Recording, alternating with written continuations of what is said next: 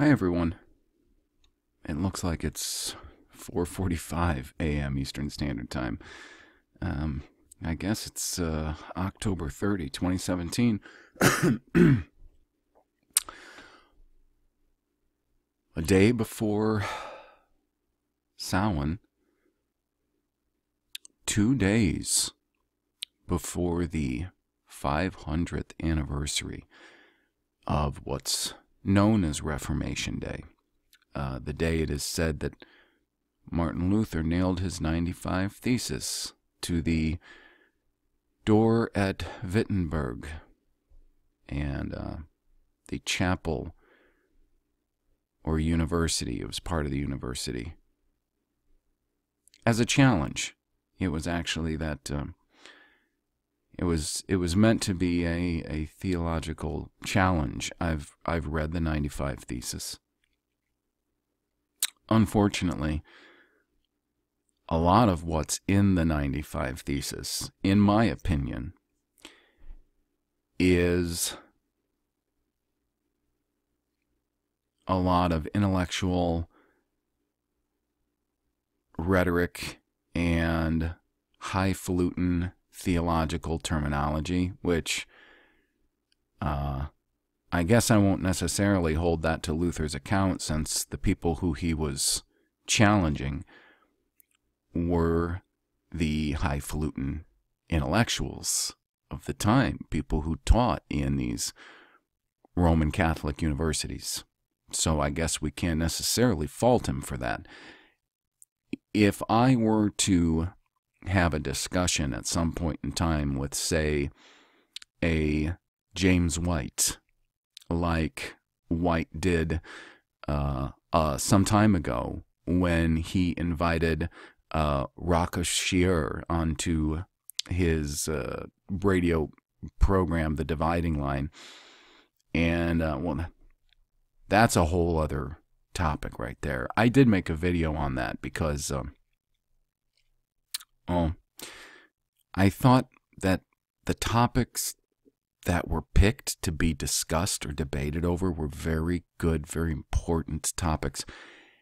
And I don't know 100% whether or not James White chose somebody who he knew that he could um, run circles around just as far as intellectual and debate tactics and um I mean, look, anybody, you know, like him or dislike him, James White is one of the most proficient debaters that there is in the public eye as far as uh, the whole realm of Reformed theology goes. So, uh, but anyways, that's so. If I was if I was speaking to him, um, I'd want to know his language. And to a certain degree, I would be using his language when we talked or if we debated. Um, so, yeah, this time of year, watch your children, keep them close. Because this is one of those times of the year when unfortunately, people end up missing. This and the time around Christmas, and there's another time of the year in uh, in the summer and spring. I don't know if they keep with equinoxes and solstices as their high pagan holy days, but there are really a lot of people who engage in acts too despicable to spend too much time thinking about, other than to warn all of you out there who might for some reason think that these things don't exist or don't go on anymore.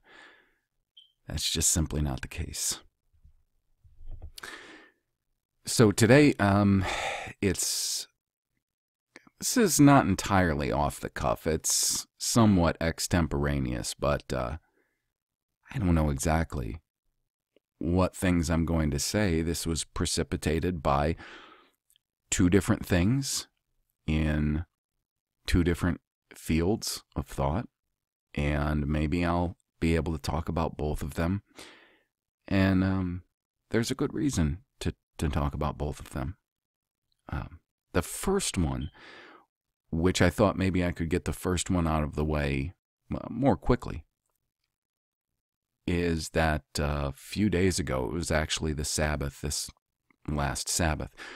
And yes, I, me and my household do observe a Friday evening to Saturday evening Sabbath.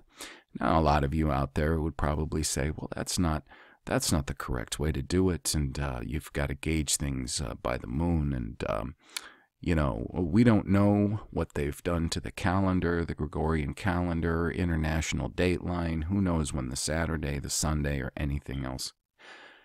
Okay, I feel you. But the thing is, I spent nearly a year just poring over the word to first find out whether or not the fourth commandment was still active and effective or not. And, you know, maybe that's because I'm slow. I don't know. But I, I was not willing to bring into my house a a rule, I suppose, yeah, a rule, unless I knew for sure that this is good and why it's good. And I've spoken a lot of times in the past then about the Sabbath and why the Sabbath is good to observe, as in the fourth commandment. Um, you can watch the the videos I did in, in a it was a, a, critique of the videos that uh, Anthony Buzzard and J. Dan Gill did concerning the Sabbath. Obviously, from the dialogue, when you listen to them, you can tell that Anthony Buzzard was probably involved uh, with some form of uh, Church of God, Armstrongism type Church of God, or one one of the splinters or branches. Um, not Seventh Day Adventists, I would say, and um, and then he got out of that and and swung very hard in the other direction and, and my observation and all of that would be because that's what people often do when they they get out of uh, very nasty uh, denominations that like Armstrongism.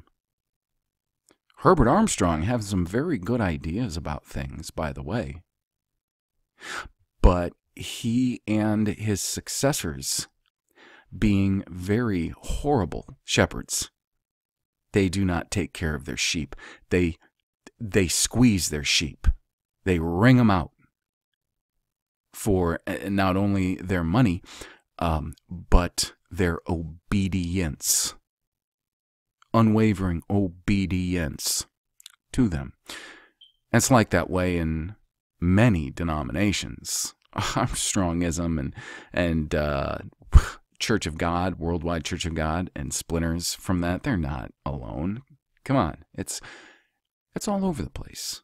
It's all over the place because our shepherds, like the shepherds in Isaiah's day, in Jeremiah's day, are, as Yahweh describes, are sleepy dogs.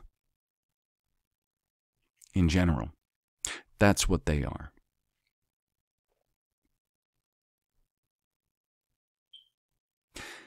And because of that, it makes it a very difficult time for for everybody.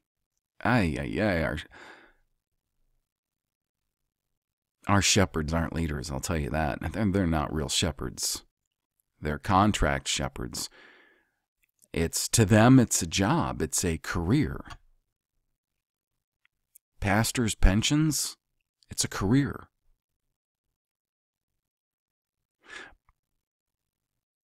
People who stake their career on things like that, the contracts that that really just mimic uh, the same sort of contracts and agreements that the world has, they can't be trusted to provide you with uh, the truth.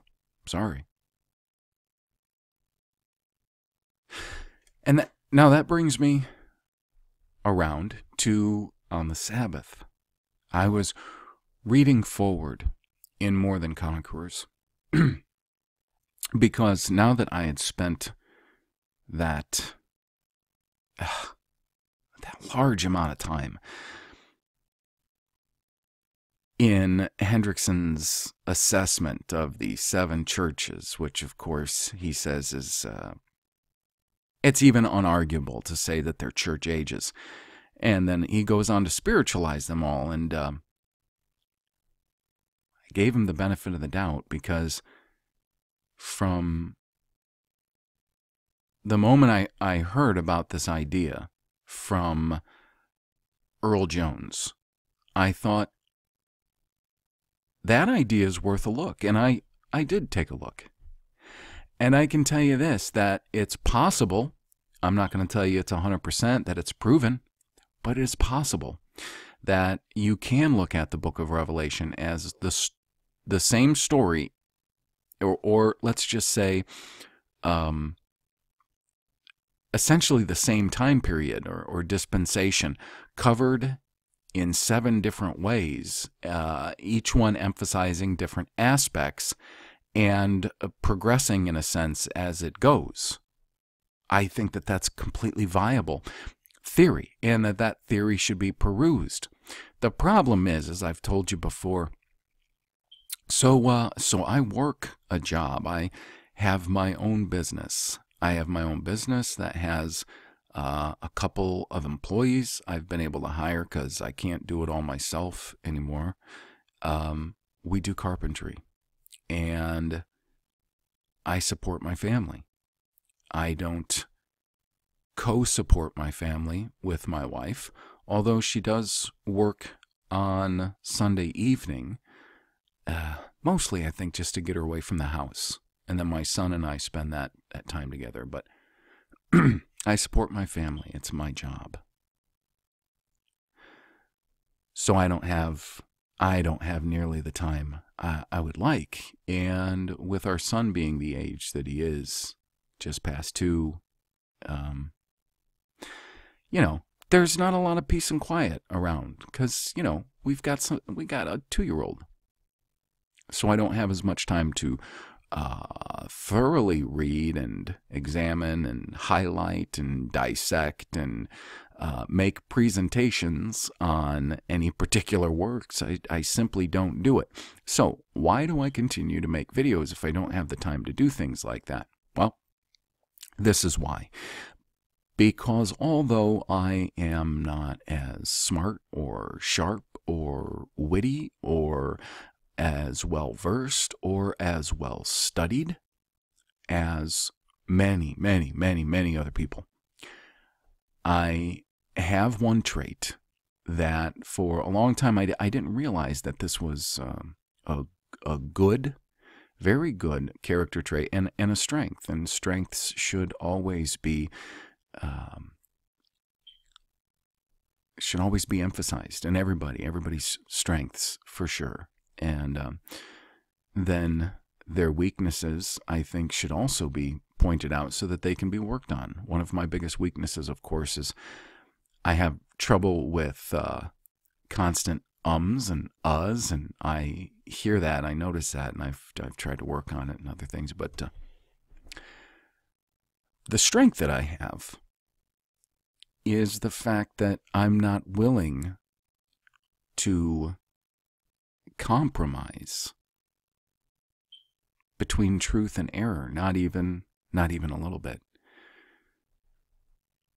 I have such a passion for what is true, what is right, goodness, purity,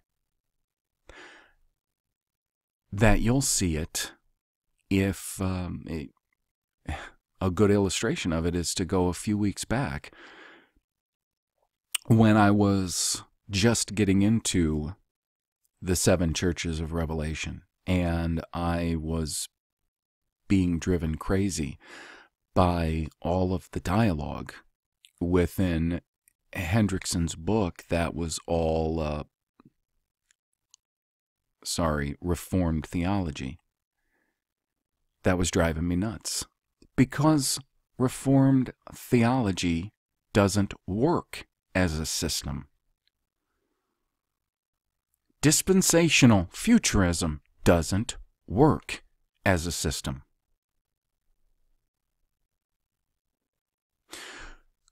Christian identity as a system full of dogmas doesn't work. None of these systems works. They all compromise something. As far as the truth goes, they all kick bits of information underneath the rug when nobody's looking. Now, some of them do that on purpose because they just can't deal with it. And a lot of them know that they're not going to make the kind of living that they want to make off preaching the word if they come off like they they they're not sure. They don't know. they know for a fact people are far more likely to give their financial support to people who at least act like they've got it all together, that at least act like they've got all the answers. Act the part, and people will believe it. That makes me sick. Even the idea. Even if they're not soaking people for their money, which mostly they are, mostly they are. But even if they weren't, there's plenty of them out there in, uh, uh, let's say, on the, the lower portions of today's church pyramid that aren't really receiving any kind of financial uh, compensation for the work that they put in to teaching Sunday school or or running a weeknight Bible study but what they feed off of is that sort of respect they get. Power. Power is a very intoxicating drug.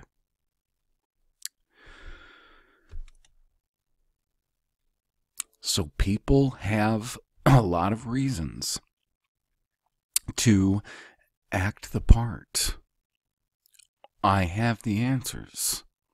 You see, I have the truth right here, and I know how to rightly divide it. I've got my systems in place. I've got outlines. I've got my answers prepared ahead of time.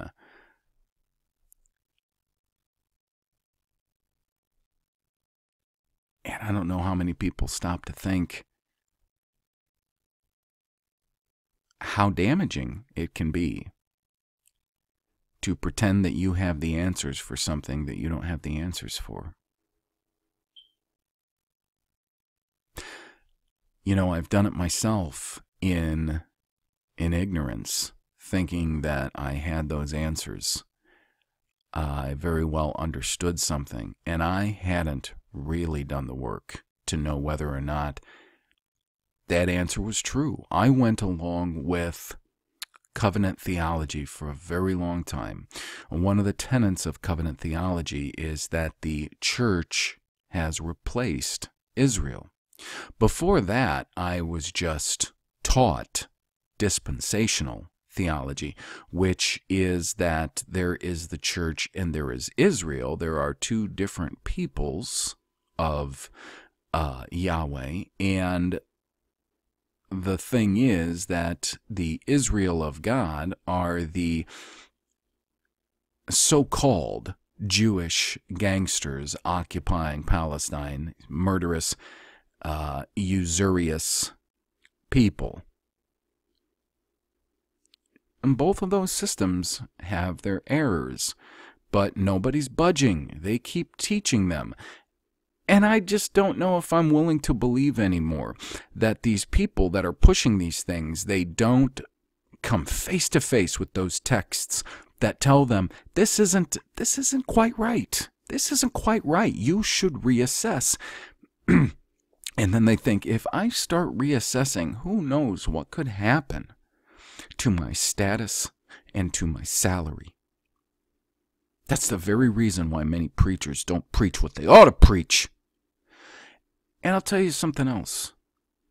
And you probably, maybe a lot of people that probably listen to me and probably think that maybe I'm kind of a flatliner, you know, don't have much emotion or, or anything, because most of the time, you know, I keep it pr- pretty low and pretty monotone. And that's because I, we don't have a huge house. And my wife and son are typically sleeping in the next room about 20 feet away or so. So I do my best to keep things pretty, you know, on the on the down low. But after reading ahead in in Hendriksen's More Than Conquerors, I can't with good conscience keep reading that book. It's so full of poison. And here's the thing I thought from uh, skimming it and what I had heard about it from Earl Jones, and then without having skimmed the book, I went to Revelation. I started doing some poking around and I saw for myself, you know what? This is a theory that actually could possibly be argued and proven. And that's why I got the book. And you know what he spends most of the time doing in this book? Seriously, he spends most of the time pushing his pushing his reform theology rhetoric and inserting so much unnecessary material because he probably thinks so much of what he has to say about things. And isn't isn't that a, a common thing? Everybody seems to do. I'm guilty of it.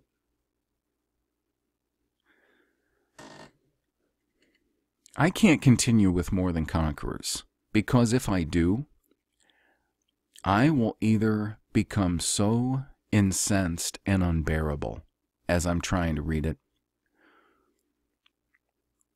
or I've got to live with my conscience telling me every day you know, I, I know you're sticking this out because you don't want people to think that you start strong and don't finish.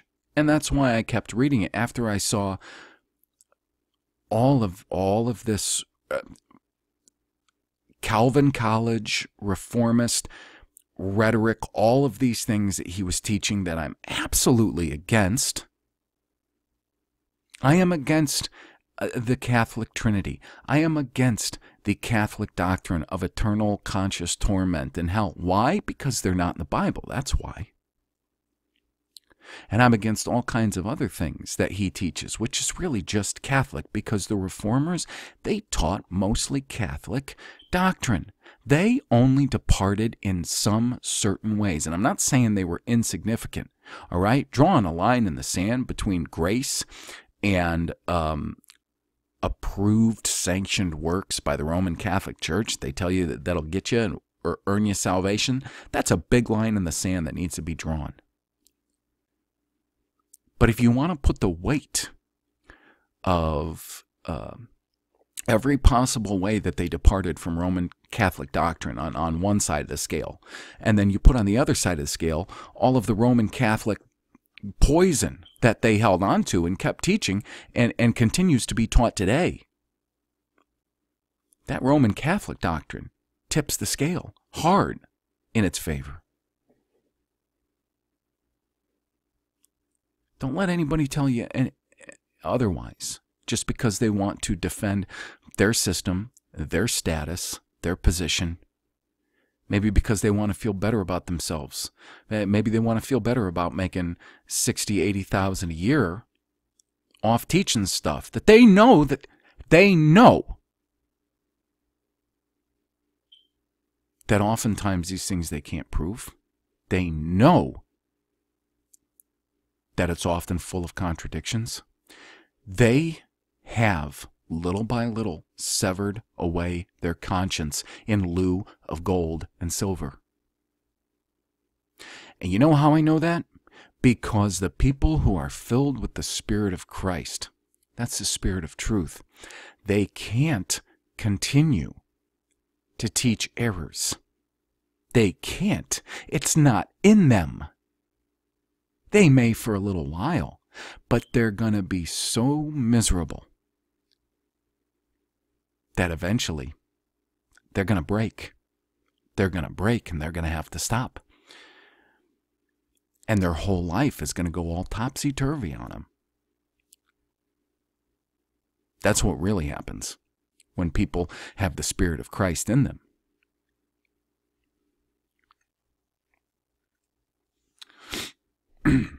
so I'm not continuing with it. Any of you who subscribed because you thought that was a great book, or I'm sorry, but I'm not. I want you know I I want to look more at that theory of his. I will probably scan his book and find all of the stronger arguments I can find for it and then put that in light of what I know about Revelation. But, you know, I'll be honest with you. I was enjoying more a lot of the things that I was coming across in my study of the original Hebrew. It's not perfect. The study I'm doing, it's not perfect. It's not entirely complete. And I told everybody a few videos that I know, I, I know now and I understand that there is going to be a certain amount of of Masoretic nikkudot that I'm going to have to learn because eh, there certainly seems to be plenty of evidence that they have removed characters from the Bible in lieu of their nikkudot point dot dash system. And that stinks because that just complicates things. But the, think about it. The prize in all of this, the reward, is the truth. The real deal truth. It's there. Oftentimes, the truth can be a, a very elusive thing. That's true. But it's there. That's what makes it worth it. That's what makes getting up hours before I even have to get ready for work and studying these things worth it. Sometimes I'm not kidding you. I've had more mornings than I can count where I've been tired by the time by the time it's ready for me to, you know, get ready for work and get going. I'm tired, man. I like I need a nap. And I come home from work and have dinner right away and uh, I try to stay up to spend time with my son talk to my wife and everything. It's tough. You don't have to have sympathy on me. Don't have pity on me. I do these things because I know that the reward is great. There are rewards. Don't ever don't ever let anybody tell you there's not. There's rewards for doing right, for doing good for hungering and thirsting for righteousness, for knowledge, truth. That's right, there's rewards. So don't feel sorry for me. But I'm telling you, this is what I do because it's it's all worth it. It's all worth it. This life is temporary.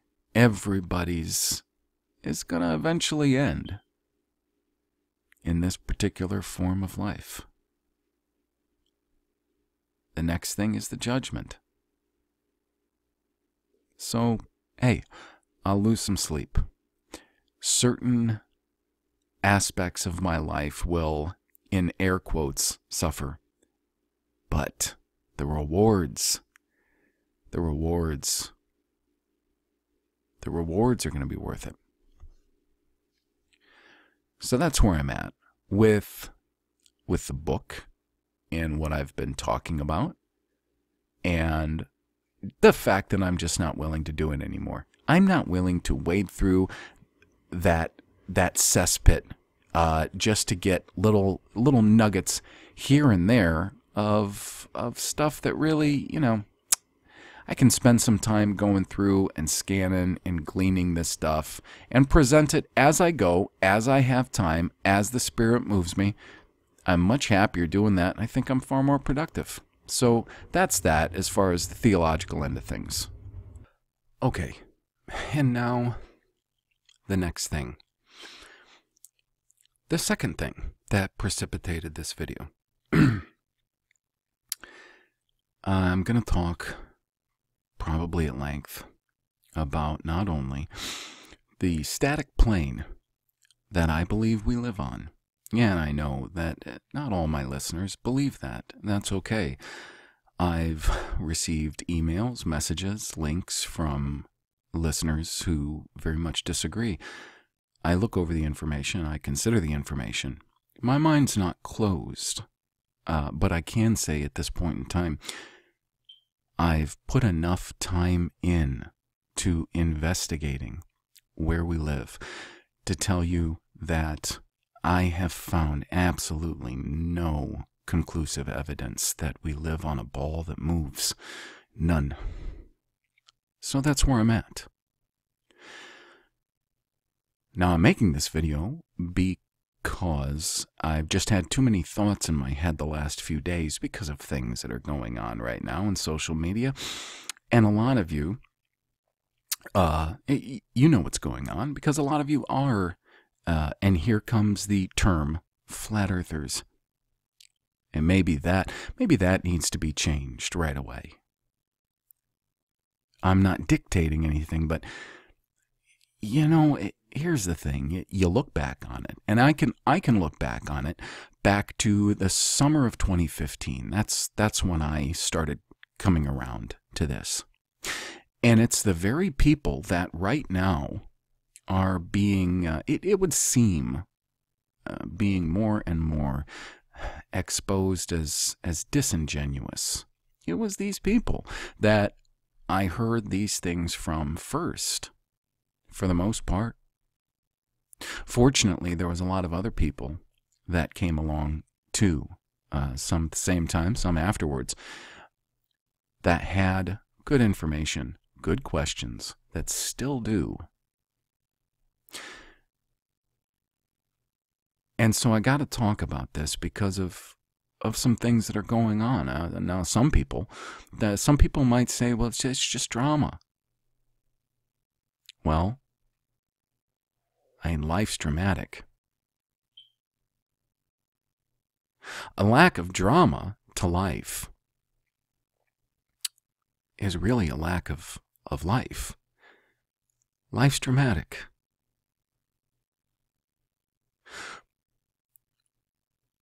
Read the story of Yeshua, Jesus, his passion, what he did with even just the last week of his life. That's drama. That was dramatic. So, drama, unfortunately, is oftentimes given a negative connotation instead of the uh, the the denotation it should be given. Drama is a uh, a natural part of life, especially when there is a struggle between right and wrong, truth and error, good and evil. That's dramatic.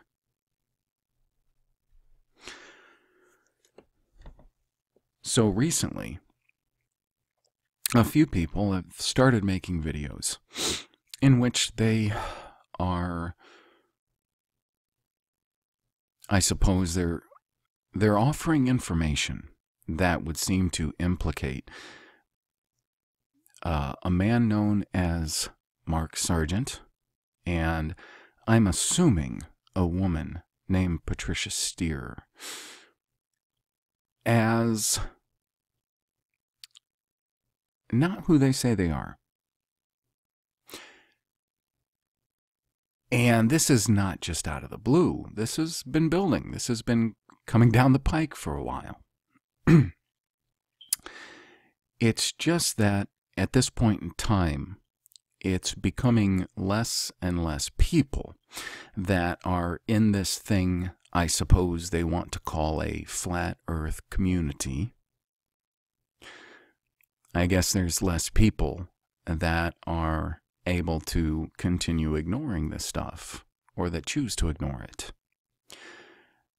ODD recently made a video uh, about this, about who is Mark Sargent really? Who's Patricia Steere really?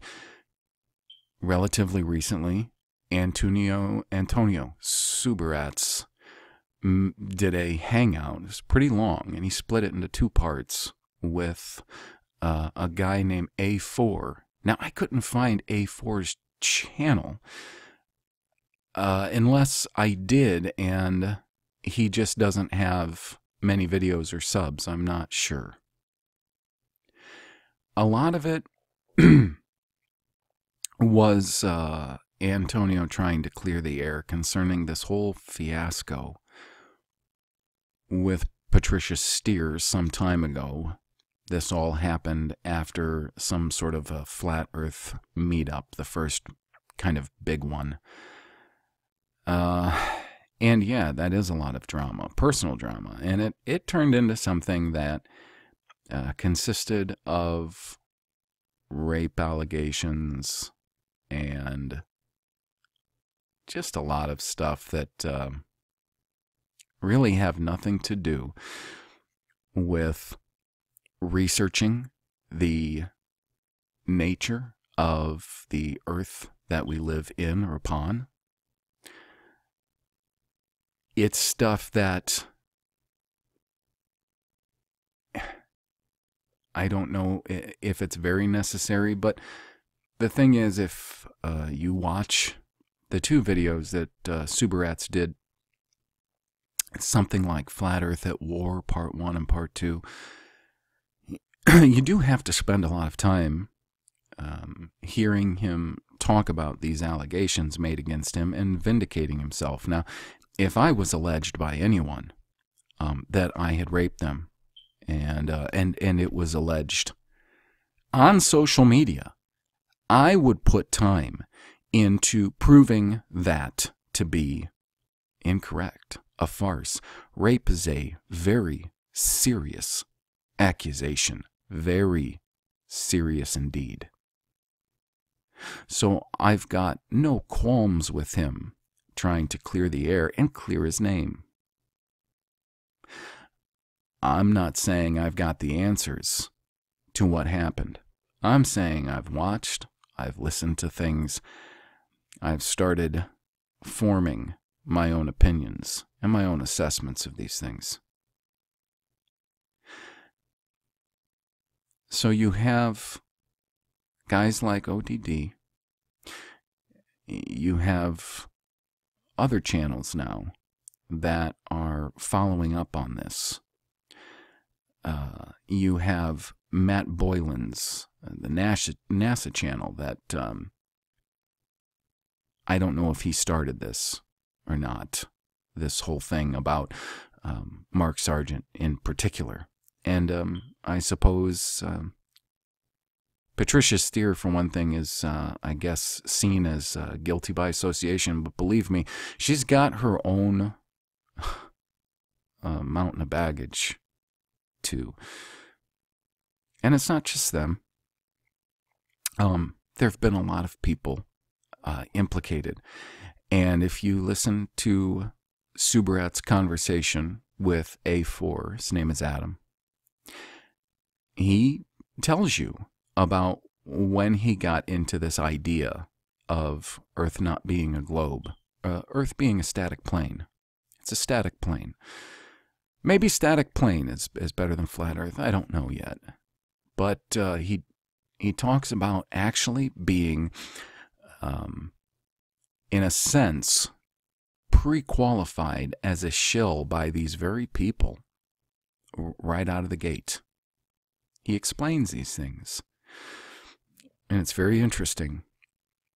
Now, he also says when, when he talks about the, the, the people that he first listened to that, that got him thinking about the nature, the shape uh, of Earth, one of the first people that he does mention is Matt Boylan, who uh, goes by Math Powerland. Now, I, I've never been a fan of of self adopted um, sensational nicknames. I'm sorry. I, I like people's name. Your parents named you this. My parents named me Jonathan. I go by John a lot, but uh, that's what I'm going to call you, Matt. I I looked at his channel. I mean, he had content concerning flat Earth years before I was hearing anything from Eric Dubay. Um, Paul Michael Bales produced content concerning uh, the earth, dinosaurs, and things like that far before a lot of these other guys came along and pr- were producing content like that, specifically Eric Dubay. And I'm going to talk about Eric Dubay. I'm going to talk about a lot of the people who were the big names in so called flat earth from early on. And when was it a controlled rollout? I don't know. Maybe. Anybody can check my older videos from more than a year ago when I said that I think it's quite possible that flat Earth is a psyop, not because the Earth is not flat or not moving. No, absolutely not. I said I believe it may be a psyop for that very reason. And a distraction for that very reason, because it's static and not a ball. So it may be a rollout. And uh, you got to give me some patience. I actually have to, to look up what these terms mean because I don't know them. I have no idea. A lot of these terms that people use on social media, that people come up with, and you know, I, I don't know what they're talking about. It took me a long time to figure out well, what is a sock puppet? What's a meat puppet? What's a shill? What's a troll? Because in in my vocabulary in the real world, a shill was a different thing. A, a shill was part of an elaborate con. They played a role in a con. Uh, these days in social media, shill is used in a very different way. I'm a big believer in words meaning something. So when you change the way that uh, a word you change its definition, that really throws me. And it takes me some time. That's why I don't use the word shill very often, because that's not necessarily its true meaning. It's been given a new meaning. So, besides those things going on, Jake Gibson, known as the Flat Earth A blank blank hole. And uh, I'm not here acting all pious, telling you that I never cuss. I mean, I I cuss a lot if I hit my hand with something or if I'm extremely frustrated over something. I do.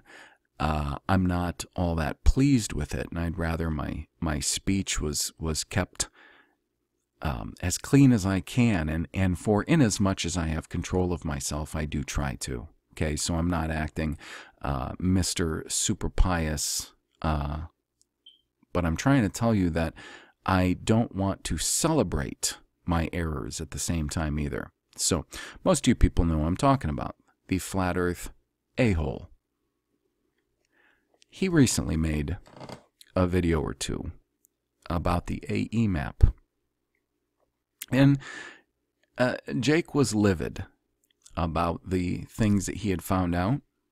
I, I personally can understand his anger and his frustration after watching videos of his for a long time now because I have appreciated the fact that he, more than most, will take these popular memes by heliocentric uh, globe model pushers and will critique and criticize them. Um, yeah, he has his own flair. Yes, he uses a lot of vulgarity. He really does. I mean, it's definitely I wouldn't I wouldn't want the kids watching. Because I wouldn't want them to see that as acceptable behavior. But I absolutely have to to give it to him that the videos he's done in the time that he's been making um, flat Earth videos, and I remember some of the very early ones of his, it basically looked like he was up in the middle of the night, baked on pot. and I don't mean to laugh, it just, uh, and just asking questions, which is usually how it starts. So I've actually appreciated uh, a lot of what he's done, but the thing is, in most of his videos, he is using the AE map as his standard. And he came to realize with a clarity when he was doing uh, a video versus Cool Hard Logic which who even knows who Cool Hard Logic is? I'm, they're not a specific user.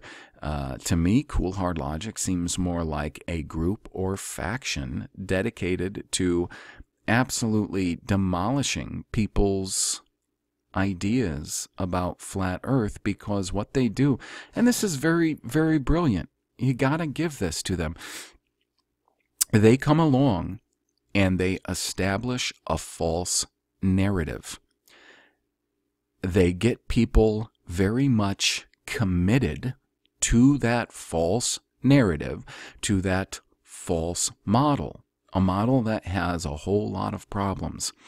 And then they come along and absolutely demolish it.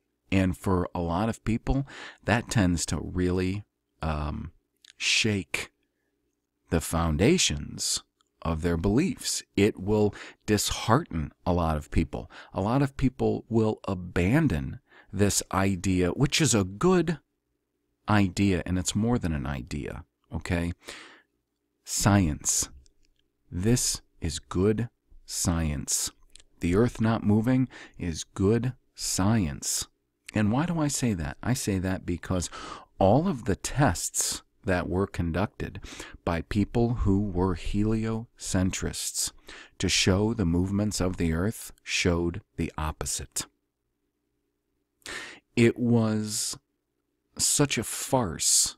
It became such a farce after experiment after experiment after experiment, not by flat earthers, by heliocentrists that could not show the earth was moving, that they had to come along and roll out general and special relativity just to deal with it. Which, in the words, and I'm probably going to paraphrase, but in the words of Nikola Tesla, is a magnificent garb. It's um, it's a beggar dressed up in, in royal garments. That's what it is. Same with Principia. And, and I don't know that Newton was ever, ever trying to say that this idea of the theory of gravity was anything more than a theory. When you start out a book or a work or a paper or a theory with the word if,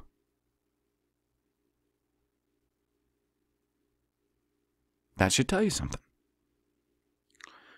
So recently, Jake made a few videos where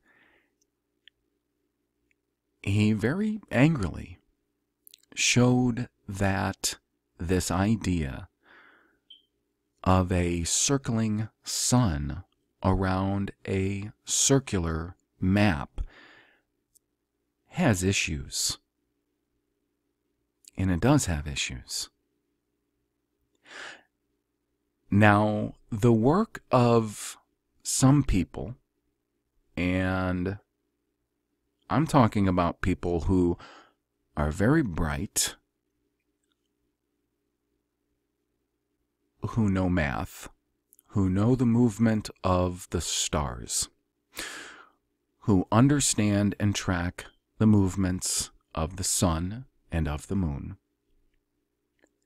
They have made some observations, especially atmospheric observations, that have kept me at a point where I'm not going to commit to saying that a circular or somewhat elliptical map is an impossibility. The reason for that being that there's so much concerning what we don't know about the sun and where the sun's position seems to be, depending on where you are. I've seen videos of people sending up balloons in Scandinavia, and those balloons recording what looks to be a local sun. And up in Scandinavia, them seeing a sun that looks to be just as local as us in North America or people in South America, Africa, Australia.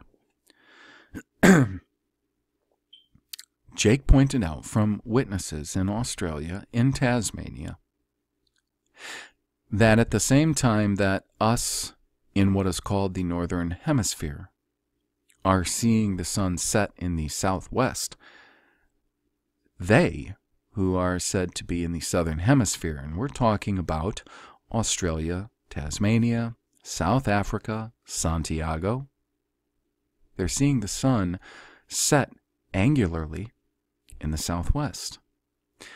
That is a big problem for a circul- circling sun on a circling map. It really is. And as he pointed out in the last video he made, where it, the video was called, uh, you know, he answers questions, okay? Something that he pointed out was this, and I, I agree with these things. Do I agree with his approach? Do I agree with his methods?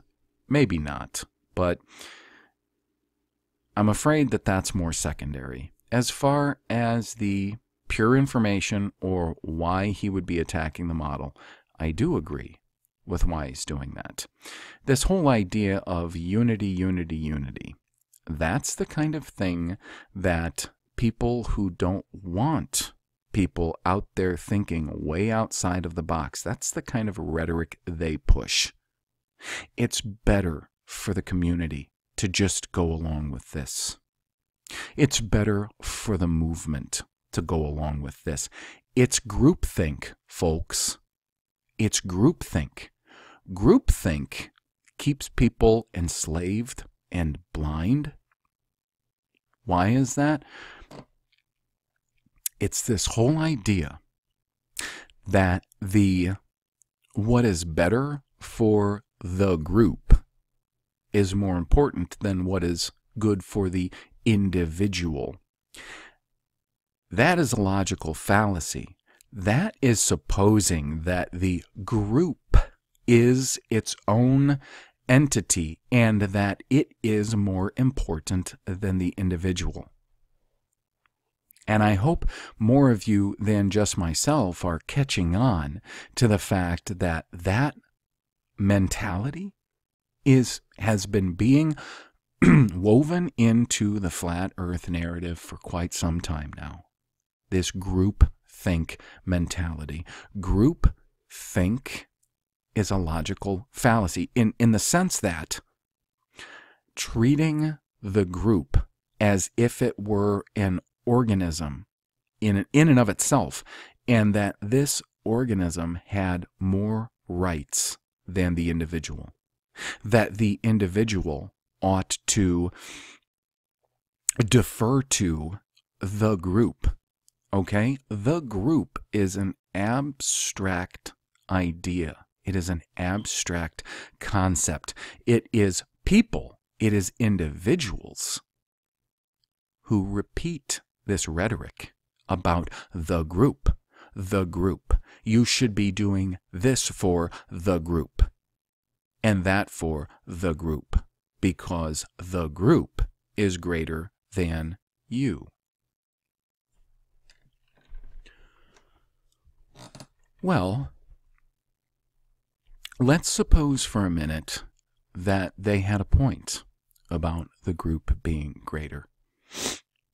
Is it more important for the group to let errors slide, to let things that may be hurting the group more than helping, to let those things go for the sake of what?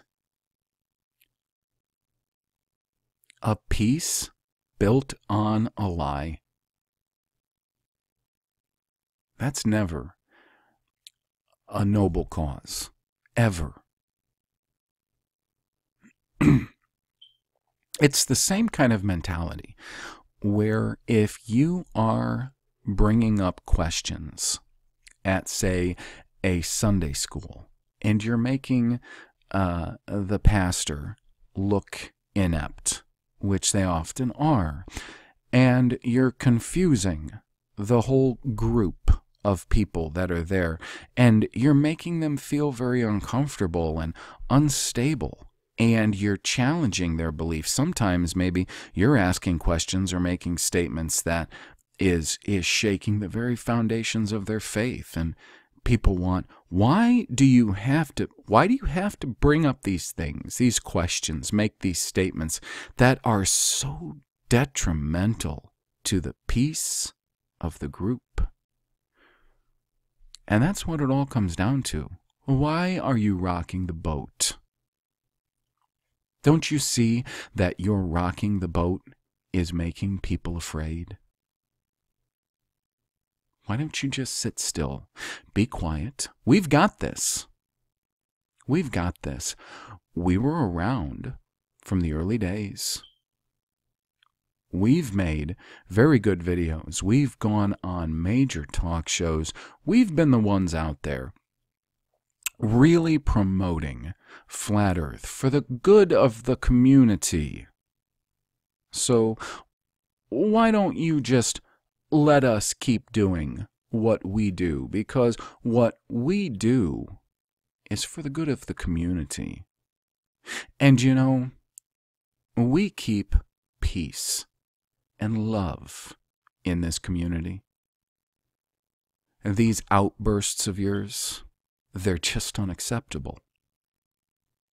How can someone let their emotions run away with them over something as trivial as the truth, as a foundational, fundamental truth, like whether or not the sun does circles what does it what does it really matter that we believe that? I mean, forget let's just let's put it in the, the background. Let's not even think about the fact that one of us may be asked onto a, a, a show or a debate, uh, maybe, uh, and probably, more than likely, a very uneven uh, very aggressive debate, like what happened with John the Morgile on the Art Bell show. And I'm I'm not saying anything against how John did on that. I thought he did very well, and he went into a den of wolves. But um, let's say that that one of us gets asked on a, a, a debate that's that's actually going to be publicized real well. And and this is the point that Jake actually made in his last video, and I agree with it also. and one of us goes in there with faulty information concerning the movement of the sun, concerning whether or not Antarctica experiences uh, the midnight sun like the Arctic concerning whether or not certain constellations exist or whether some act in the same way as like the North Star, whether or not the Southern Cross exists. Let's say that a very, very bright person in the community of Flat Earth goes on some popular show to debate. And they go in there equipped with the wrong model, the wrong science. And I'm going to call it science, but if it's wrong, it's not really science. It's misinformation, it's disinformation. And it's true. They could send one of their actors like um, Neil deGrasse or, or Bill Nye or, or a number of people. They could send them in there and make that model look ridiculous and make the whole community, which all these people are saying that, you know, that is what people like Jake or Subarats or anyone else really who's voicing their own opinion, that they should be thinking more about the community. Well, that sort of thing right there is going to absolutely devastate the community. It is. Let's just use our heads for a minute and think about this. So, whether or not you like his style, whether or not you like his name, whether or not you like uh, all of the language he uses, he absolutely has a point.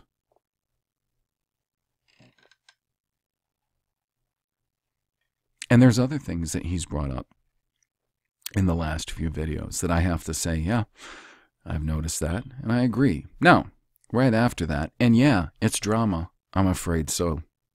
Now, right after that, this guy named D Marble. I don't know where he came from, but um, Again, I haven't paid that much attention to Flat Earth for, for a while. I'll watch certain content creators that I know are are very intelligent, that are are putting some good thought and oftentimes original thought into this. But for the most part, no. Uh, no. I stay away from these these eight man community hangouts, especially because they keep having these same faces in them that I don't want to see and people I don't want to hear from. This D Marble uh, made a video uh, in response to some of the things Jake said because Jake said on that last video he made that uh, for one thing that happened when he came out hard against the AE map and people had to know that he was going to do that. That's that's his style. It's been his style from the start. People liked that. People people loved that. When he was pushing the popular model, popular narrative. But now that he's seen some things that he's got a problem with and he's voicing it. Now they've got a problem. Well, so this uh, now this D Marble he makes a video in response to Jake. And of course, he makes a lot of allusions to maybe him being a shell. And you can watch that video as well and you can make up your mind. I stopped trying to figure out definitively who was a shell a long time ago. I don't have the time. I don't have the resources. I don't have the um, computer prowess to to do this kind of digging that it seems like a lot of other people do. I don't have it.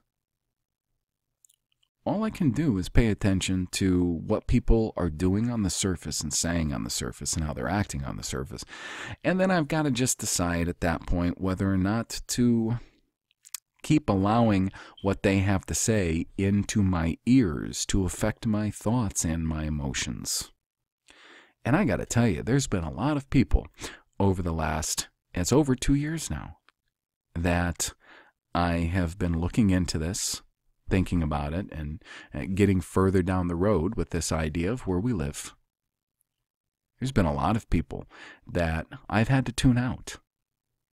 either because I consciously see problems with the way they behave or certain little ideas that they push in it's just like the Hendriksen book, right? He has got a very good theory that I think needs to be perused. But what happens is, in the meantime, between proving the points of his theory, he fills up the pages of his book with all kinds of Reformed theology, Calvinistic rhetoric. And that right there is the poison in the water. And that's all a lot of these people have to do. Do I think all of them are doing it purposely? I don't know. I don't know. But when you listen to some of the stuff that people who have had the time and inclination and far more talents than I do to look into things, who have been looking at patterns for many years in the flat earth community, and they start pointing out some problems with associations and behaviors of the big names, well, you can decide. You can make those decisions. A lot of the times, I'm simply led by the Holy Spirit to not listen to certain people, to keep what I take in at certain bare minimums. And I have to go with that. And I honestly did second guess myself from the start with a lot of people. I really did.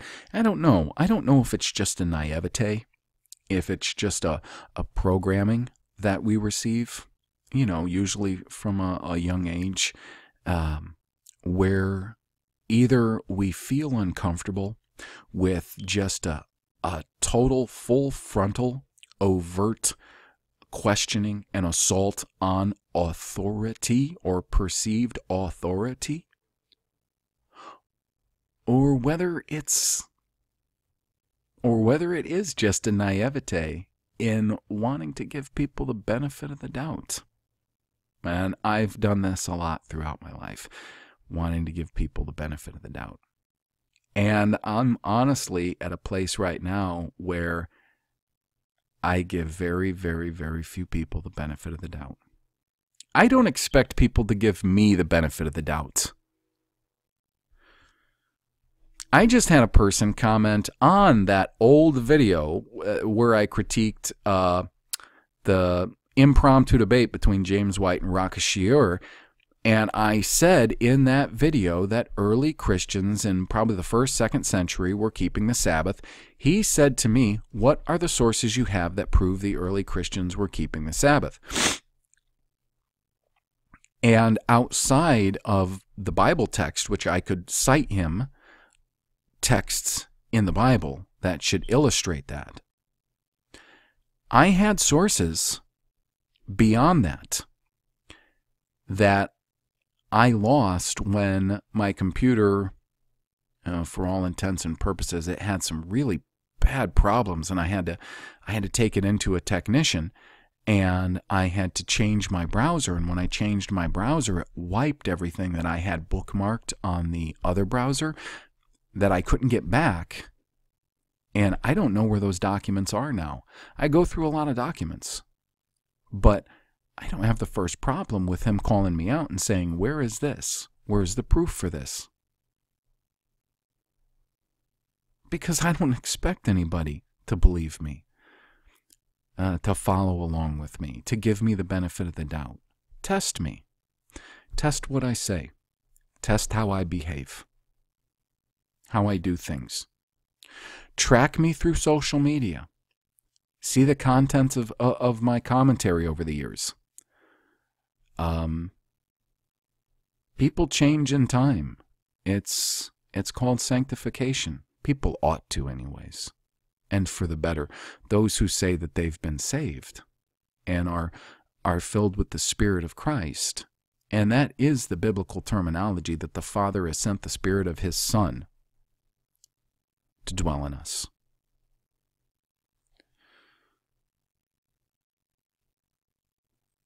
So I know I'm looking at the clock and I I see that I've gone I see that I've gone an hour and 9 minutes so far.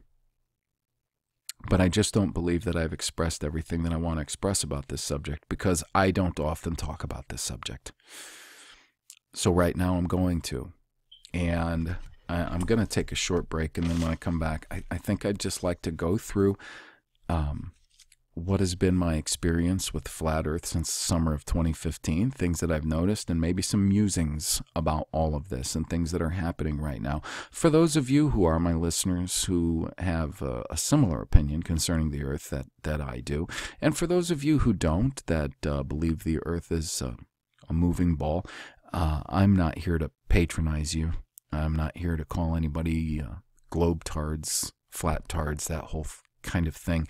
It it should be a a discussion that is open and people should be willing to have their side, their views, their theories criticized on both sides and from within any particular side. That's the only way that you usually get to the truth. So let me get this break out of the way and then uh, I'll be right back. And it'll seem like no time has passed at all. So I'm going to go down my experiences thus far with Flat Earth, its characters, its community, and its ideas. And I may just have to pick this video up in in like a, a part two because it's a lot. It, uh, as I said, this was going to be a bit extemporaneous. And what I did before I started making this video is I wrote down a lot of names. Names that have been around from the start things I've noticed about them, for better or for worse. This isn't necessarily an indictment on anyone. Maybe in some ways it'll indict certain information. I'm not too sure yet. As I said, it's extemporaneous. And now, the first person that I heard any kind of significant material from was Eric Dubay. Is Eric Dubay an agent of some sort? Is he in on a rollout or whatever? that I cannot say that definitively for sure because I don't know. I know what I've seen, I know what I've heard, I know what I've experienced. And here's what it is.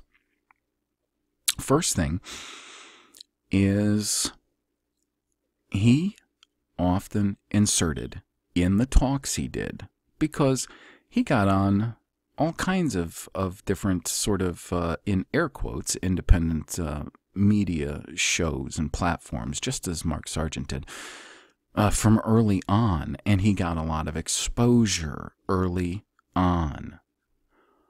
These kinds of things, I'm afraid, let's just say this, that there's a term that I've come to learn in the last few years called astroturfing. Astroturfing, for anybody who doesn't know, is where certain entities decide that they are going to roll out an idea or a movement in a way where they tweak numbers and other information to make something look like. It is a organic anorganic grassroots movement when in fact it is not. It is being contrived. That's astroturfing. Now, he was getting all kinds of uh, exposure early on. I did some some looking into him with the limited time that I have. And I can tell you that I've read uh, some of the leading works that most early flat earth proponents were pulling from. Eric Dubay and his monologue is taken heavily, very, very heavily from Samuel Rowbotham's work, Zetetic Astronomy, Earth Not a Globe. Heavily from that. As is, as I said, many of the early proponents, the very popular proponents and voices in the flat earth. I tracked Dubay. I tracked his videos, dates when they were released, uh, social media, uh, tweets and things like that, and he's all over the board until about the time uh, that and he that he self publishes these two books, the Atlantean uh, Conspiracy and the Flat Earth Conspiracy. He even inserts, as does Mark Sargent, this meme, this title, Flat Earth, as opposed to stationary plane or whatever else. Now, the thing is, you have to remember, for the longest time, even since I was a child, this idea of flat earth, the earth being flat, is synonymous with backwards stupidity. And yet they use that very term, as opposed to stationary plane or any other term that they could. They, people like Eric Dubay and Mark Sargent and, and Jeranism, and others, others like Patricia Steere, Flat Earth, and other hot potatoes. Flat water, flat earth. You see. They chose that name, they chose that, that title, and that, that moniker, that meme, and stuck it right on this. So Dubay, even in his tweets, was kind of all over the board, very much supporting Alex Jones for some time, by the way. You can look into him. Is he organic? I don't know. if he is, and he is who he says he is, I think he's a bit unstable, maybe flaky. In the fall of 2015, I decided to join IFERS because he had promoted it as being a more authentic um, website and resource for these ideas than the Flat Earth Society, which is clearly, obviously, meant to make those who question the, the nature and the shape of the earth, it's meant to make them look absurd. Now, I joined IFERS, and within 24 hours, I was blocked from IFERS. Why do you suppose that would be? I'm not the only one. Plenty of people have said that happened to them. For the most part, the people who said that happened to them, I have tracked them over time because they also have YouTube channels and are content creators. And these same people are usually the people who are creating content that is original, original thinking that clearly show that they're not being controlled by anybody. They've got low subscriber counts, they've got low views, low likes. Is that because they're not smart or entertaining? Is that because what they have to say is not important? I'm going to say no, that's that's not why. Because uh, these people are are very smart. And whoever's backing some of these people, of course, are they have control of social media. They have control of the web. They can tweak the numbers in any way they want. And you know, people tend to be very sheepish. They tend to go along with the herd. I'm afraid that's the truth. so I did notice in most of Dubay's interviews that he couldn't just talk about the flat earth, could he? No, he had to interject all kinds of new agey Hindu uh, ideas and philosophies and all that. Um, and now some of you can say, well, that's just his personal belief system. Okay, fine. Yes, I have a belief system too, and that is that the Bible is true, that it was written by the only true God through his servants, the prophets and the apostles, and that the Bible is far more than a religious book. It is a book written by and for the servants and the children of the living God. So, yes, I do have a belief system also. That's true. And maybe a lot of people can't separate the two. Um, those people uh, out there who profess Christianity and believe that the earth is a stationary plane, they don't hold back with talking about the two things together. And I'm actually going to get to that because there are a lot of problems in there as well one of the serious issues is going to be the fact that those people who operate on the platform of what is pure, uh, provable empirical science, uh, they're going to take anyone's religious beliefs and they're going to be able to use those things as a way to weaken their argument and spin things. That's going to happen. So, again, these are just observations. And then, of course, not long after that, um, Eric Dubay, you know, and I'm going to be careful about how I say this because, again, it's it's possible that he's a real authentic person and, and is who he says he is. If that's the case, he is an unstable person. Do any of you remember that there is a picture of him floating around where he's making the uh, OK sign in the in the picture? That 666 sign. The funny thing is, is a lot of these people who are the biggest names from from early on, let's say 2015, okay, early 2015. That's when everything kind of started popping like popcorn.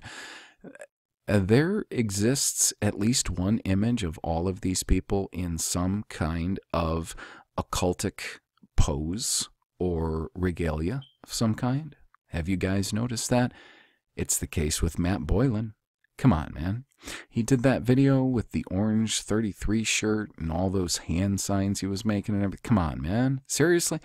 The interview that Mark Sargent did with Sasha goes by Orphan Red, where he's making the hand pyramid the whole sign. Same thing that Trump did uh, through uh, some of his interviews. Is it just coincidence? well, what you got to do is you got to take all of the material and evidence you have and add it all together and see what you can make of it. On the other hand, Eric Dubay, if he is actually who he says he is, just some guy who happens to live in Thailand and and practice Wing Chun and who knows if he has an actual job or not, and has self-published these books, wherein, by the way, there's not really much original content. Everything in these books can pretty much be tracked back to another author. And that's not always a bad thing. Sometimes here's the deal if truth is truth is truth, eh, you're you're just gonna if you if you write about the same topic as somebody else who wrote about it before you, you're gonna be kind of covering the same ground because if the truth is the truth is the truth, it's unavoidable. I get it. That's true. But I do need to point that out. Secondly, I do got to tell you, between Eric Dubay and Mark Sargent in particular, and there's others.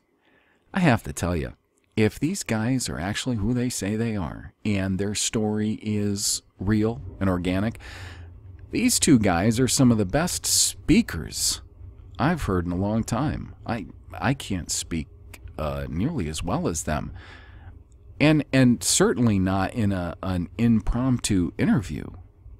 I mean it. I don't know how many of you have tried it, but it is not as easy as one might think. Um, especially somebody like me who has all kinds of sinus problems in the morning. And you'll forgive me.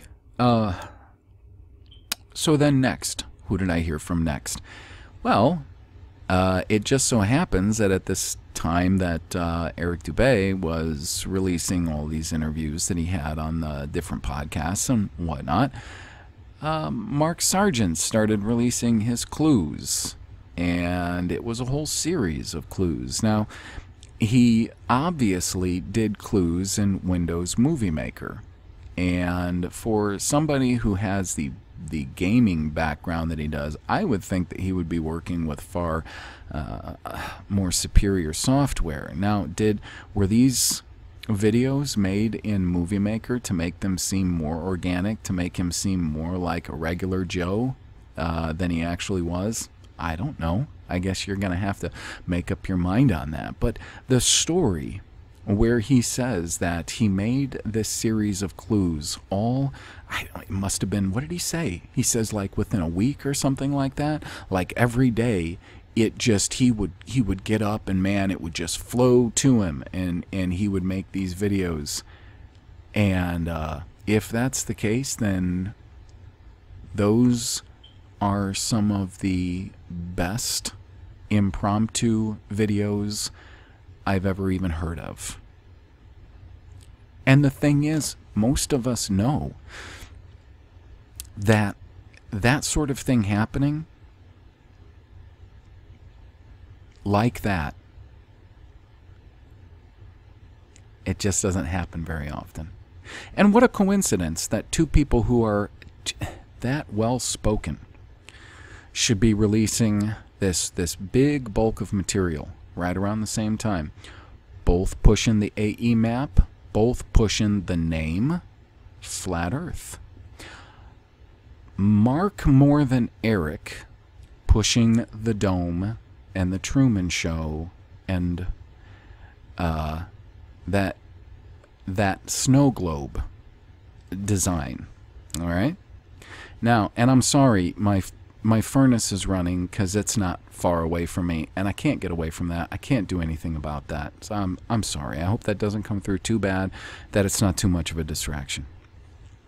So then, speaking of snow globes and that whole meme, and inserting this as an idea, and the AE map as an idea, and the name Flat Earth, which is associated with stupidity as an idea now consider Rob Skiba.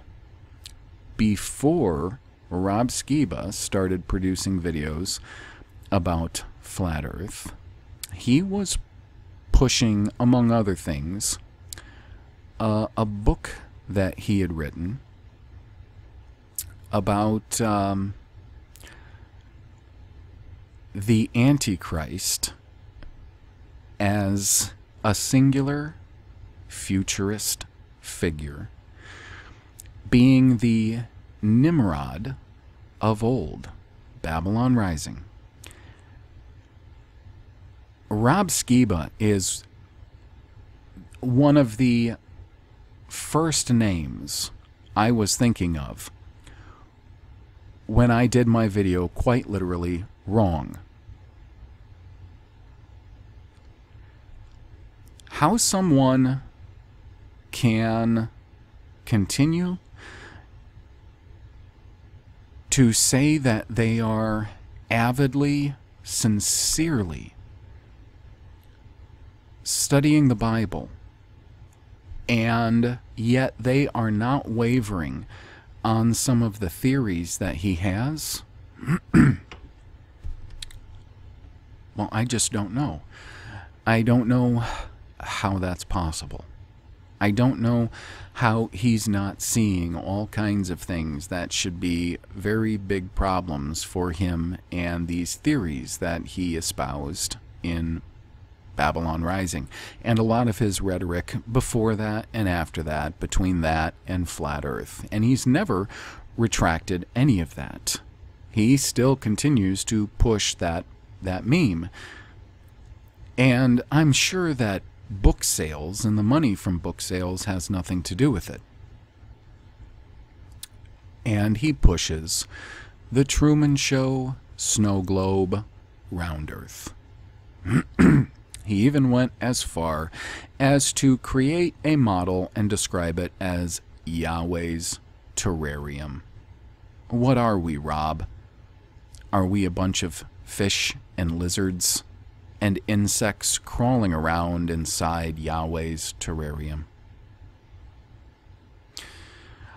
I think it was poor taste in choosing a name like that.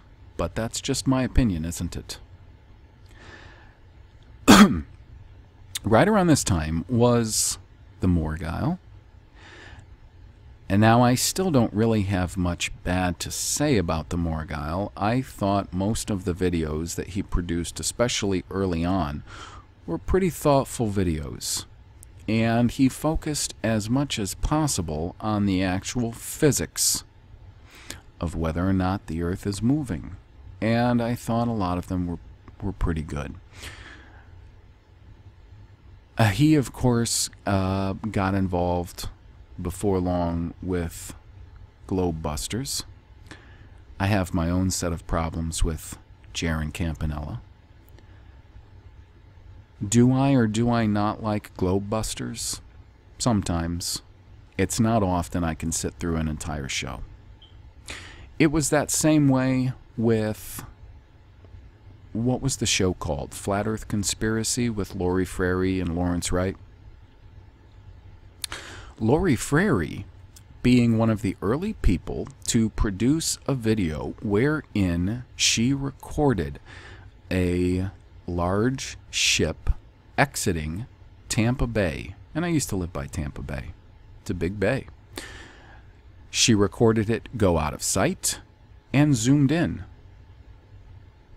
And she showed how the water itself will cause effects upon the hull of the ship that'll make it start disappearing. You get the ship far enough away to where the human eye cannot zoom in on it, and those effects from the water will cause the whole thing to disappear. A number of people have actually illustrated this the fact that there is miraging that happens over the surface of water. Jeran Campanella has showed this. Rob Skiba has showed this. Now, keep in mind, some of these people, when I bring up things about them that I see as perhaps negatives, don't think that I think that everything that they produced was negative or that was supposed to lead us to some kind of bad conclusion. I don't think that at all. And here's the deal if a lot of these people that I'm talking about are people that you know or, or are aware of in the, in air quotes, flat earth community, the thing is, none of these people would have any credit within the air quotes flat earth community if they weren't getting at least some things right on the money. Part of what would give them credibility, if it's a rollout, and if there's a lot of people in on this rollout or are taking orders in some way, they're going to have to provide certain nuggets of really excellent information. It's what gives them credit and I would suggest whether or not you want to put in the kind of time that it would take to look into these people and their background and if they say who they really are or anything like that. Keep this in mind that pretty much every single one of them are going to have in their arsenal certain bits of hard truth. And it's going to take separating the chicken from the bones. So then there's Jeranism. Jeran Campanella, Mr. Bait and Switch. Now, a good question would be why would I call him Mr. Bait and Switch? I'm going to explain that.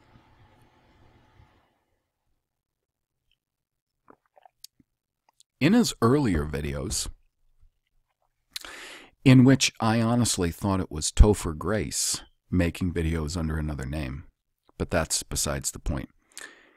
He would make a whole lot of statements about um, how these people like Brian Cox and, and the other popular uh, people pushing the popular model and and staunch evolutionists and whatnot that they would make disparaging remarks against Christians And he came off as being somehow the champion and defender of Christians, Christendom, and Christianity, only to find out as time went by that he was one of the biggest detractors of Christianity and Christendom. Jeran Campanella grew up, so he says, Roman Catholic and went to a Jesuit school, a Jesuit high school, anyways.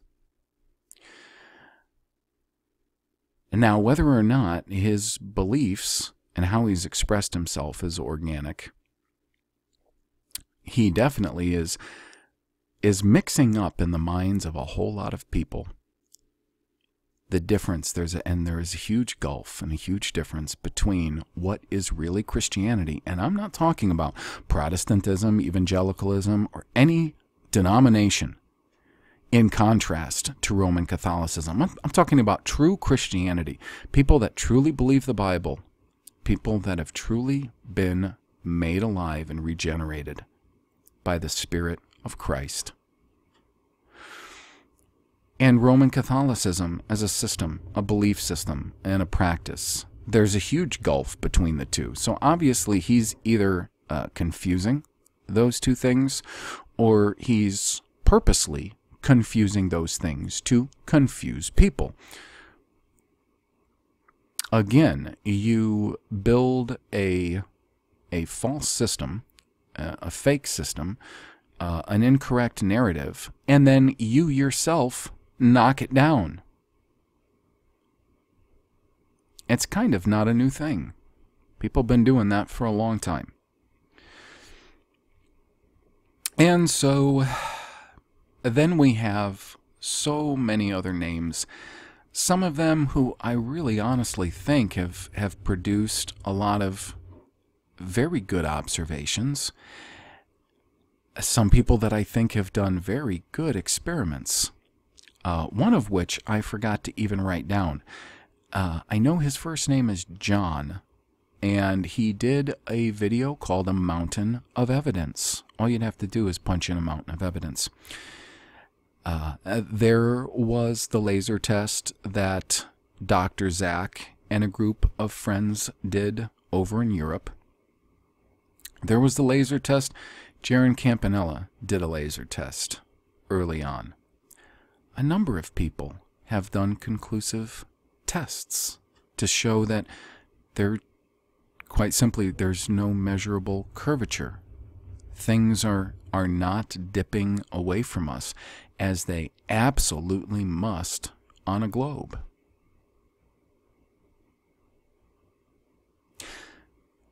There's some very smart channels out there, and there are people that are thinking out of the box. Not everybody backs up the AE map.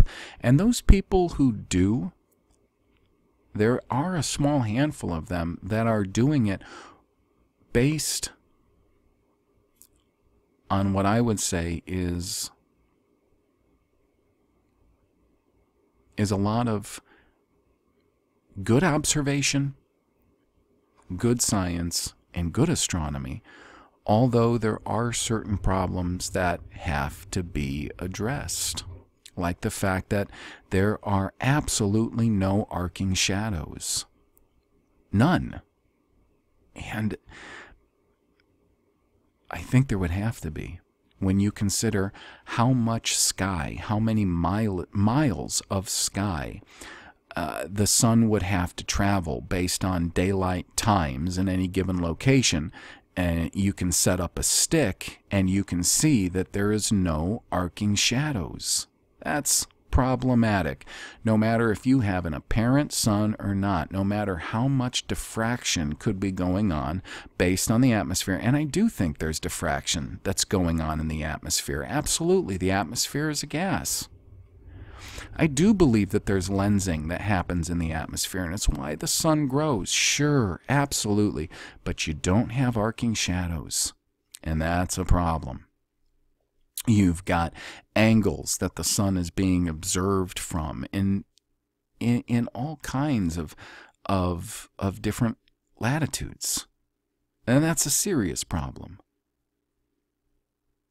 I don't think anybody should close their mind to one map being correct or not.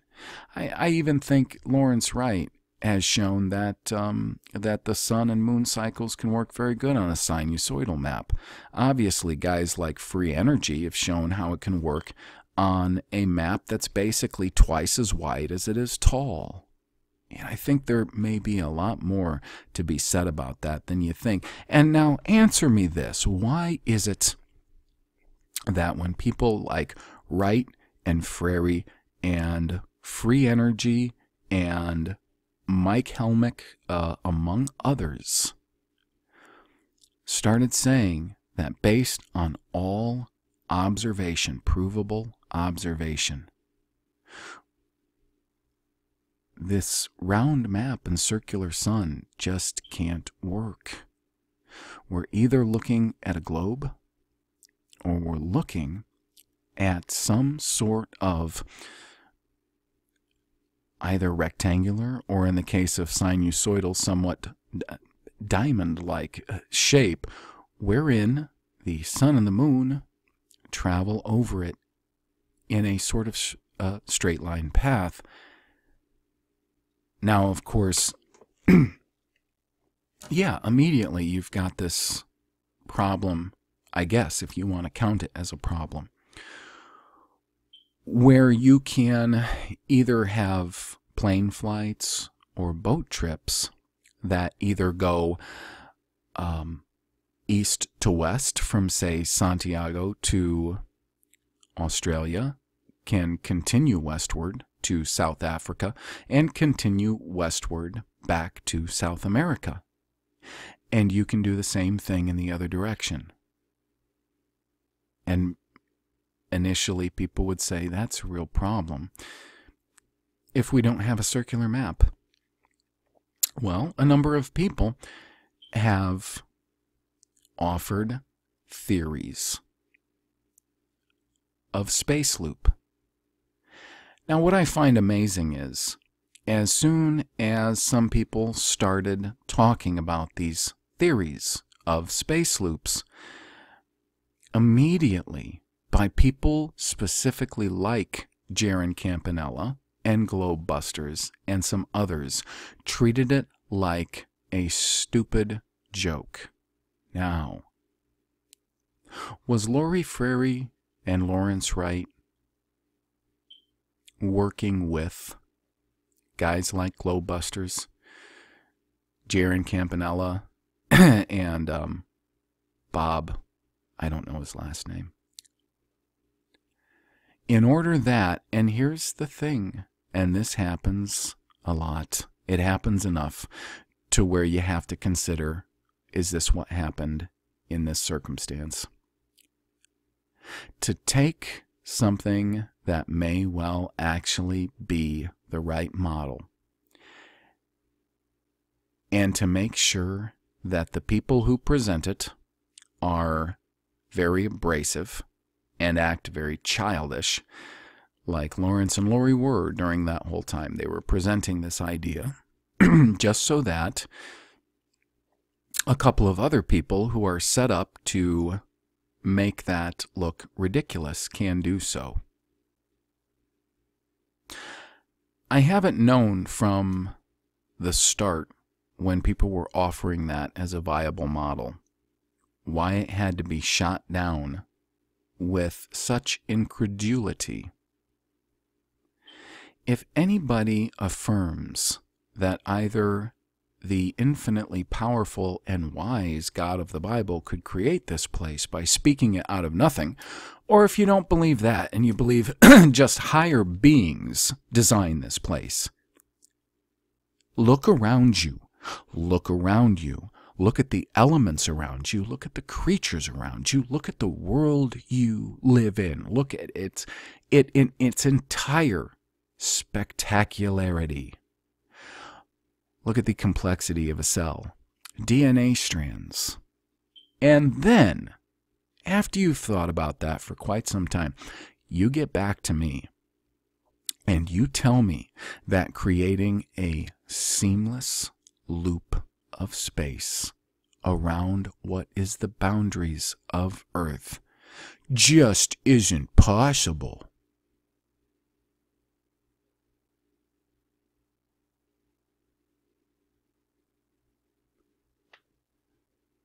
I understand that it's difficult for some people to to wrap their head around that. And that's fine. Have any of you ever considered that maybe the reason that a lot of people believe that the earth is a globe is not because all of these people are in on a conspiracy, although, yeah, I'm absolutely convinced that plenty of people at the top are. Plenty of the people at the top have far more information about this place than um, your average professor and author and scientist. But consider this are all of these various scientists just mindless tools, robots, auto- automatons of the system? Or have they made enough observations of a world that was designed in a way that were you to wrap this world around a globe, it would work because it works in a way where there is seamless transition coordinated around the limits of it so that when you exit, if you want to call it that, certain coordinates, not only do you see the coordinates of where the Earth begins in front of you, but you enter those coordinates as you exit the others, as if you're looking at, just for the sake of argument, a Gall Peters rectangular map, and you leave the map in the lower right hand corner traveling at a perfect due easterly direction. Not only would you see what is at the very west extremity of the map, but you would enter seamlessly as you sail, travel from the one side to the other. But no, that's silly. That's ridiculous. We can't even entertain that argument. Now, that sounds exactly, exactly to me like the rhetoric of people like Hendriksen, who said, We can't even entertain the idea or the argument that the seven churches at the beginning of Revelation is talking to seven distinct subsequent church ages throughout this dispensation of time. It's just like the people like Anatoly Fomenko, who no, I don't trust, not at all, nor his theories, who, in the introduction to his book History, Fact or Fiction, completely dismisses the theories of actual historians like Heribert Illig as just beyond argument. Dismissal should be a big clue.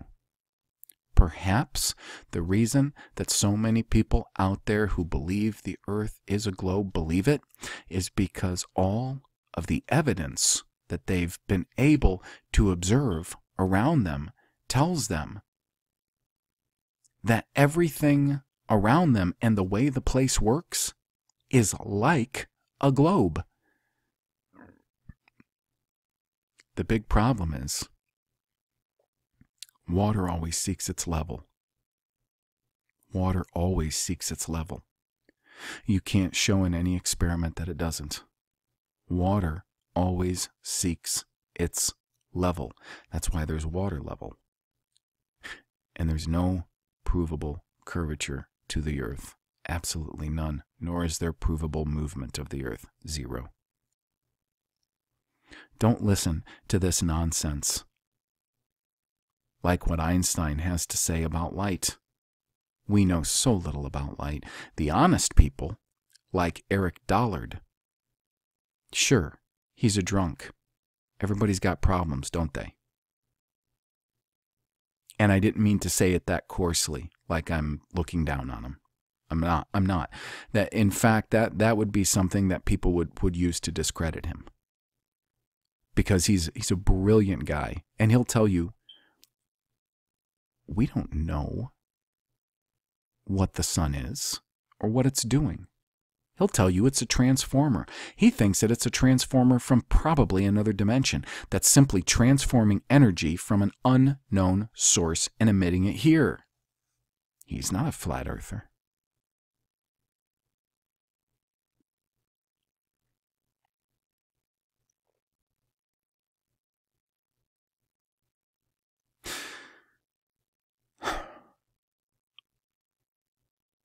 I do like something that Dell from Beyond the Imaginary Curve has been saying from the start. He's been telling people, let's keep it to the things we can prove. Let's stop trying to push models that absolutely cannot be proven because we're building false narratives. We're building people up who don't have the time to do the kinds of serious research that the other side has time for. They've put a lot of time into this. They're very, very well equipped and prepared. He's been telling people keep it at what we can prove. And there's things we can prove simply. The earth has no curvature. For those of you who send me photos of what seems like curvature, let's say like over Lake Pontchartrain, there's a real problem with just simple images.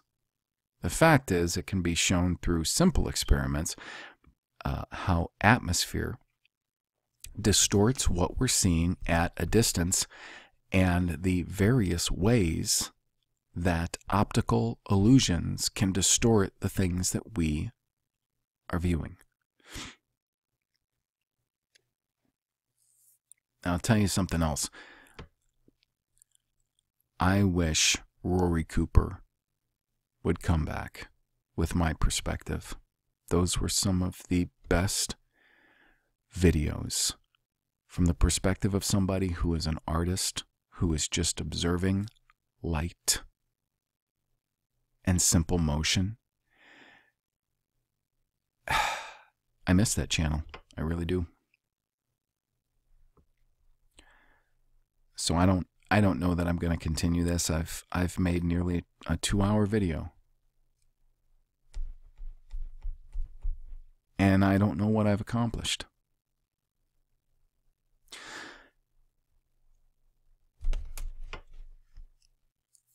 I I hope for for any of you who have put your stock into this idea, into this theory that the earth is a stationary plane, won't allow these things to sap your energy or curb your enthusiasm. And uh, I hope that, that those of you who so far have been on the fence or still believe the earth is a globe will consider just keeping your mind open as information comes down the pike. Is it a rollout?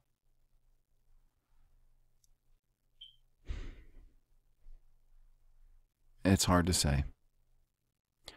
But I do know that when they don't want good information coming to people,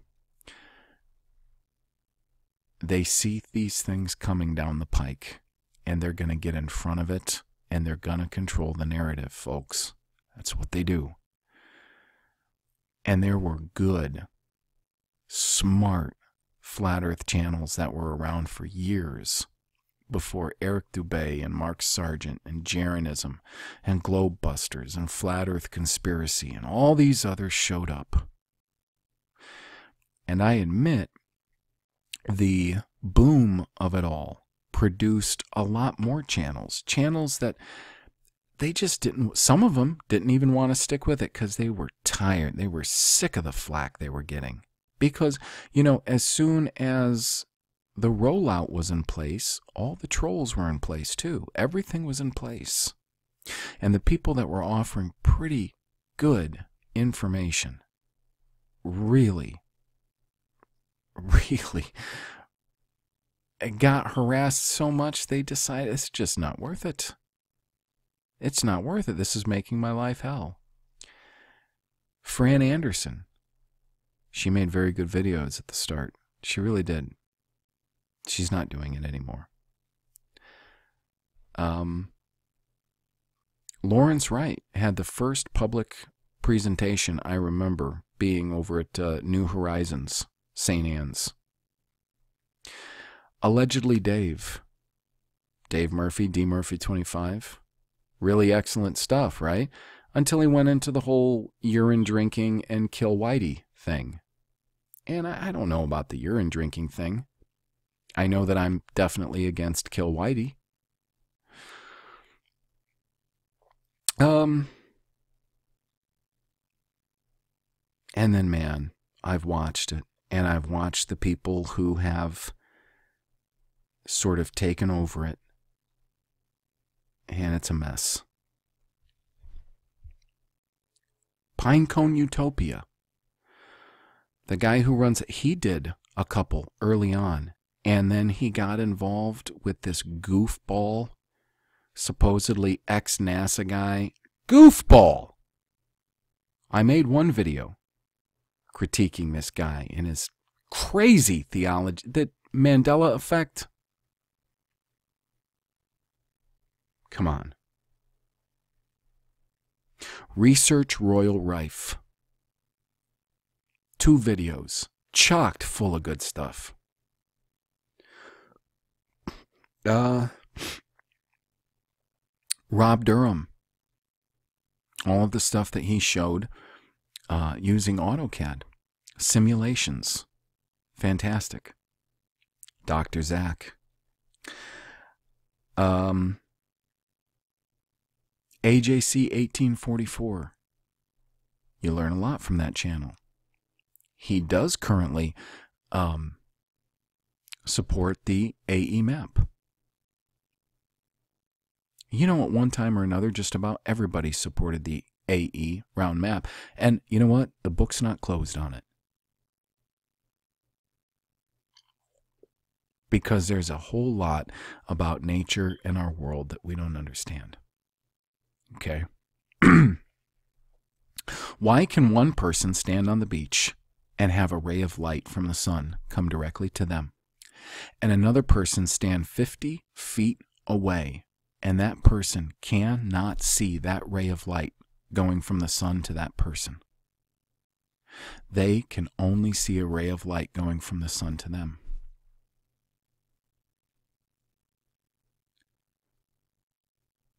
As Antonio Subaretz brought up, and I've heard others bring up. Why are all rainbows seen only from a perpendicular point of view? I'd love to hear these questions answered. I personally would love to be part of at least putting my two cents in sometimes, trying to get to answers, good, solid answers. I honestly would love to see a whole lot less of these channels continually pushing Flat Earth Live, Flat Earth 24 7 Live. Watch such and such brush his teeth. Mark Sargent throws a ball against the wall for two hours on Flat Earth Live, 24 7 coverage. Ah, we're going to be having hangouts today, and we're going to have hangouts tomorrow, and the next day, and for the foreseeable future. We're all going to love each other. We're all going to get along. Nonsense. I'd like to see a whole lot less of that. I would like to see a whole lot less of the ridiculous, meaningless, pointless, don't get anywhere, social aspects, the control of this thing that is worth pursuing, and turning it into a farce.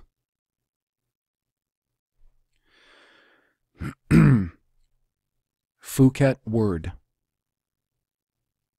he still is AE map and he has a lot of really good information. So there's a lot of people out there and I've I haven't even mentioned a lot of people. There's a lot of people out there that have good information. You should watch Dell from Beyond the Ima Imaginary Curve go out on the street and talk to people. You see how people can be talked to. Now, if I saw Dell uh, coming towards me and wanting to talk to me about a given subject, and I'm a, a pretty good size guy myself, I'm and pretty strong. I can take care of myself. But I would definitely hear him out. it doesn't hurt. It doesn't hurt that he holds himself well and commands a certain amount of uh, respect and authority when you're going out there on the street. And this is something that, that Jake Gibson also did. And that's really great because that keeps us connected to one another, not just some imaginary fantasy, abstract world of social media and groupthink and people able to control what we perceive as reality through the numbers, through this screen, and through this programming. People, we got to start having relationships with one another again. I think that that's vital. It's vitally important to not abandon those for the instant gratification of social media. And I'm not going to keep going because if I keep going, I I don't know. It's probably not going to be productive. This is 2 hours in. This is 2 hours in and for all of you who have kept with me the whole time, I thank you. I appreciate you. Um, thanks for letting me air this out. And uh, I don't know what I'm going to come back to you with. Uh, I don't, but I know that I can't keep pushing something that I know is full of of a lot of um, subtle errors, like um, William Hendriksen's work is. I don't know where I'm going.